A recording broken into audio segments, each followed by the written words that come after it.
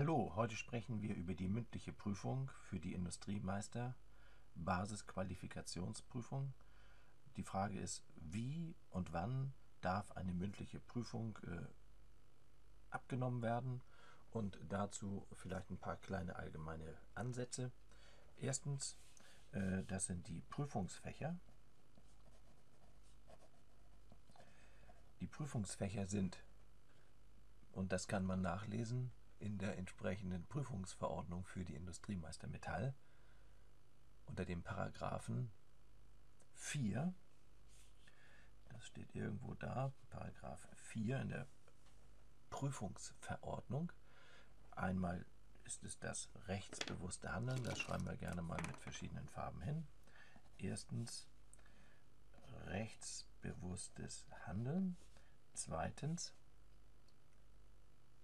betriebswirtschaftliches Handeln, BWH. Drittens MIKP,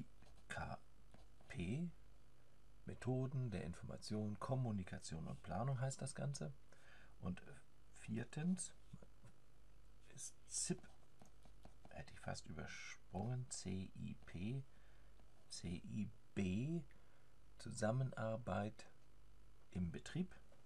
Und fünftens das heißgeliebte Fach NTG, naturwissenschaftliche und technische Gesetzmäßigkeiten. Diese fünf Prüfungen können abgelegt werden oder besser gesagt müssen abgelegt werden, um die entsprechende fachrichtungsübergreifende Basisqualifikation, so heißt das ganze Krempel, entsprechend abgearbeitet zu werden.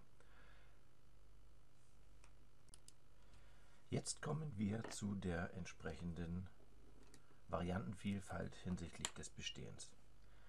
Also wann habt ihr ein Recht auf eine Ergänzungsprüfung? Das ist das Ganze.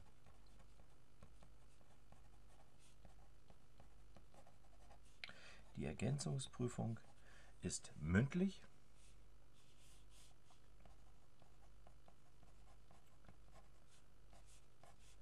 Und ab wann darf man die machen?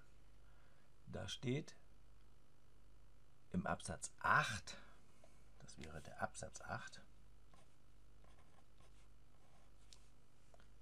im Paragraphen 4, der Prüfungsteilnehmer darf nicht mehr als zwei dieser Prüfungen mit mangelhaft bestanden haben. Also,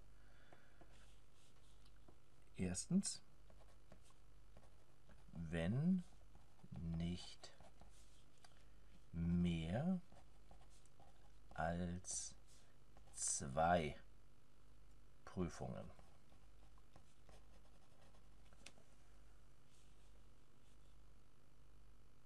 nicht bestanden wurden.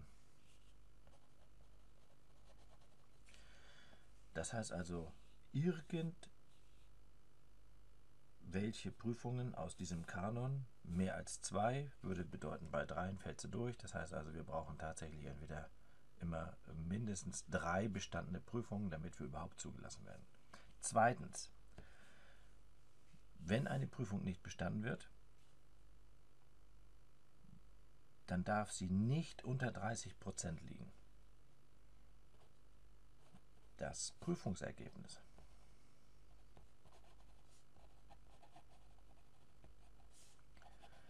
darf für die nicht bestandenen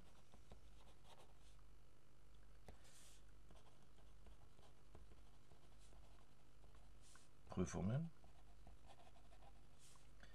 nicht unter 30 Prozent liegen.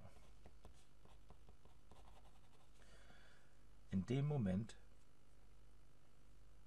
verwirkt der Prüfling das Recht auf eine mündliche Prüfung. Also, hat der Prüfling zwei Prüfungen nicht bestanden, und beide liegen über 30 Prozent und unter 50 wird er zur Prüfung für beide Fächer eingeladen. Na, für einfach gilt es sowieso. Damit ist klar, wann eine mündliche Prüfung stattfinden kann und wann nicht. Wie wird die Prüfung jetzt von den Prüfungsausschüssen der DIHK durchgeführt?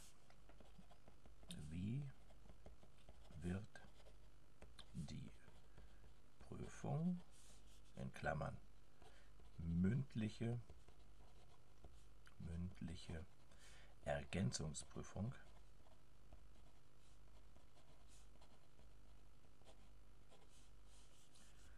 durchgeführt. Wie wird die Prüfung durchgeführt? Fragezeichen. Was kann der Prüfungsausschuss machen oder nicht? Erstens.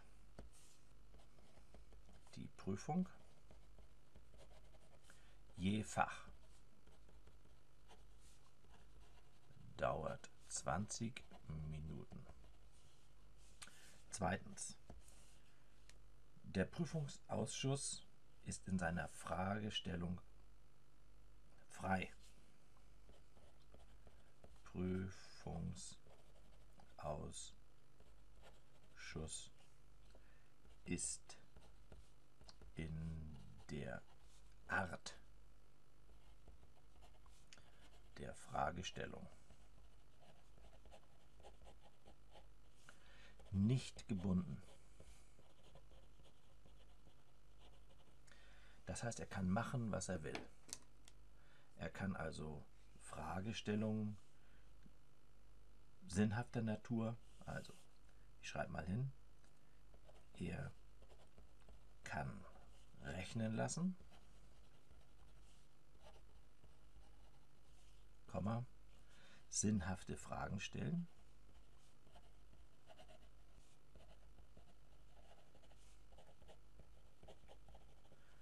oder sonst irgendetwas.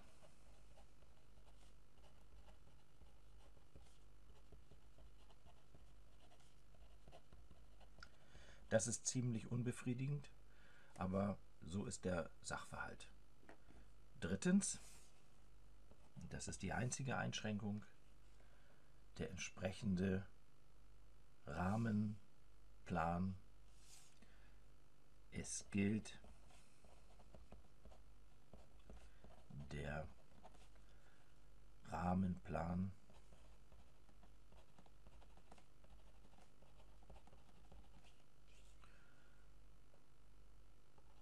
der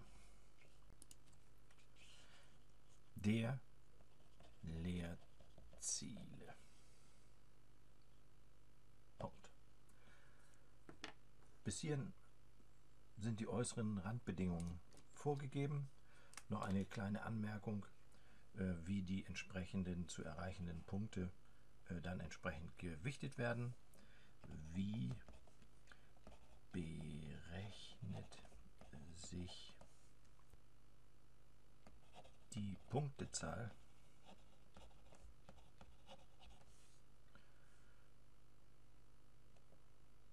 um die Prüfung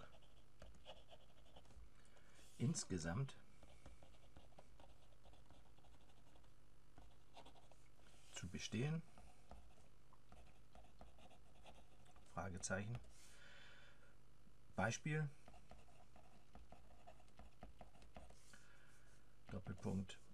In irgendeinem Fach werden zum Beispiel 40 Prozent schriftlich erreicht.